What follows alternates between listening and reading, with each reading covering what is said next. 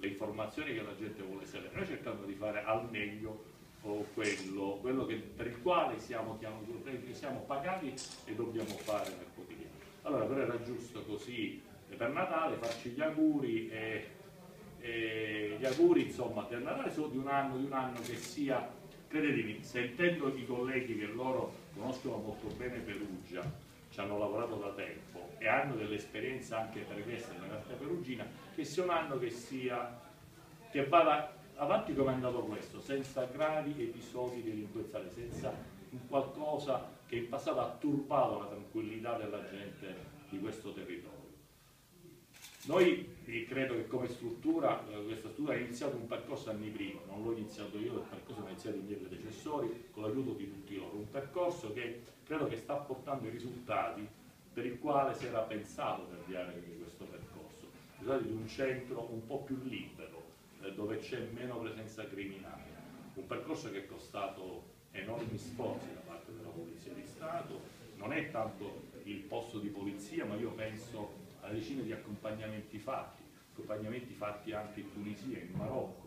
alle routine arretate fatte in modo serale notturno, con costi da parte dello Stato elevati, uno sforzo oh, che ha visto sempre anche dove, laddove l'attività si, si, svolgeva nel campo della polizia giudiziaria, ovviamente il coordinamento dell'autorità giudiziaria. Credo che oggi la situazione in centro, lo dico io perché sono arrivato da poco a Perugia da un anno, è cambiata. E se è cambiata è cambiata, vedete, grazie all'impegno continuo. Ma vedete l'impegno di questa struttura della polizia, tutti i colleghi che sono presenti qua, eh, ha potuto ottenere un risultato perché c'è stato un altro impegno di, di, della società civile, quindi anche l'azione comunale e dei cittadini che hanno occupato gli spazi che abbiamo liberato noi. Noi possiamo liberare gli spazi, la gente li deve rioccupare, perché non possiamo presiedere tutti gli spazi, noi li liberiamo, li devono presiedere la gente comune e quindi iniziative come la, eh, la cena sui gradini eh, del, del, Duomo o altri fatti, ben vengano. E, dico, e noi dico, su questo ci siamo impegnati veramente tanto e credo che noi avanti, e credo che noi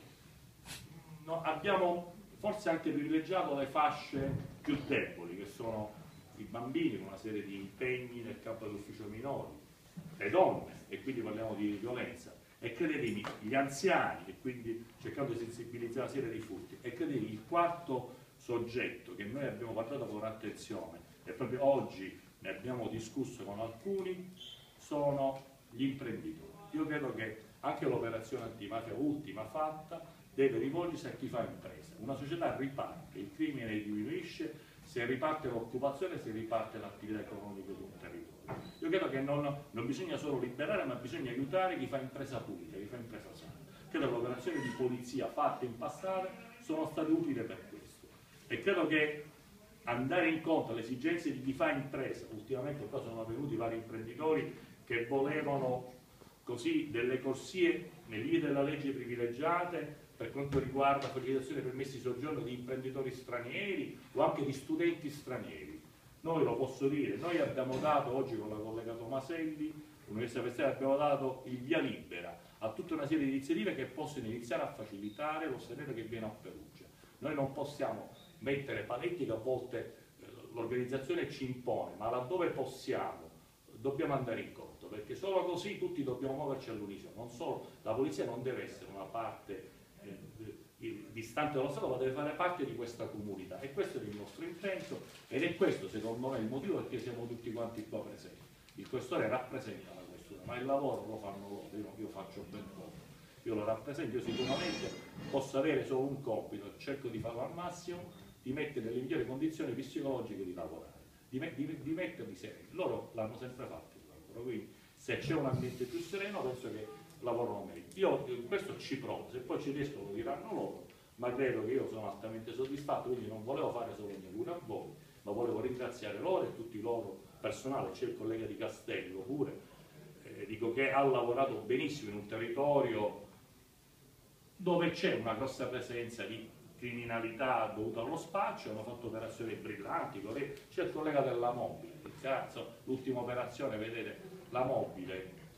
e questo gliene do atto, non guarda solo le grandi operazioni, ma riesce a contemplare le grandi operazioni con operazioni come queste che diventano grandi per il significato, perché la gente vuole questo, perché la gente era terrorizzata se le diffuse, quindi viene do atto, la mobile sta facendo uno straordinario lavoro e quindi ringrazio anche il collega della mobile, quello di Castello, poi c'è una collega che ha, la questura è fatta di tanti uffici,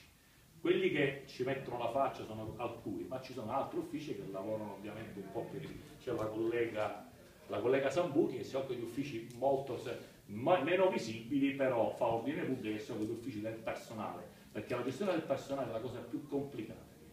per poter far andare avanti un filo ci vuole una gestione del personale sana, equilibrata, corretta e anche degli automezzi. Il nostro medico, il nostro responsabile del filo sanitario, ma voi sapete che quale sta il sabato sera l'impegno che loro mettono il sabato. La dottoressa è tornata da, da qualche giorno da, da Casablanca, no? Le ha accompagnato un marocchino scarcerato che era pericoloso, no? oggi sui giornali. E per questo ecco, è stato Cioè, perché, perché, noi abbiamo detto un, un cittadino straniero che esce dal carcere è ad altissimo rischio. Noi dobbiamo fare in modo di non fargli, ma di riaccompagnare al suo paese. È uno sforzo, consideriamo. Però se è questo che abbiamo capito che questo